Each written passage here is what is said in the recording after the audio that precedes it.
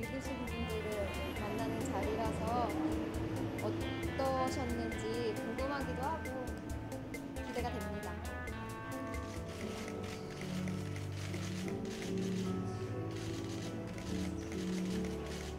아, 아 소희 씨 오늘 처음 작가로 어, 데뷔하는 정말 정식이 처음 나는데요. 어, 너무 축하하고요. 어, 오늘 또 이런 자리에 제가 사회 진행을 맡게 돼서 어, 정말 기쁘게 생각하고 있습니다. 네, 책 너무 재밌어요. 어, 꼭 사서 네, 여러분 한 번씩 다 보세요. 네, 소희야 너무 축하해.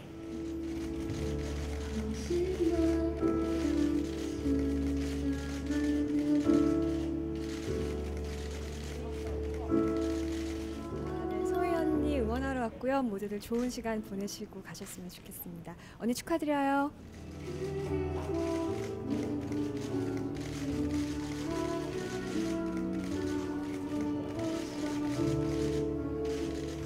어, 제가 너무 좋아하고 저랑 정말 친한 소희 언니의 꿈틀 어, 책과 앨범 발매 축하드리고요. 오늘 북 콘서트 재밌게 보겠습니다. 화이팅!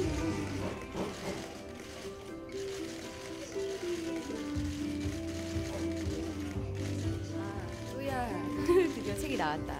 축하해. 너무 축하하고 어, 잘 됐으면 좋겠고 앞으로 너의 꿈을 계속 펼쳐나가길 바래. 응원할게. 화이팅.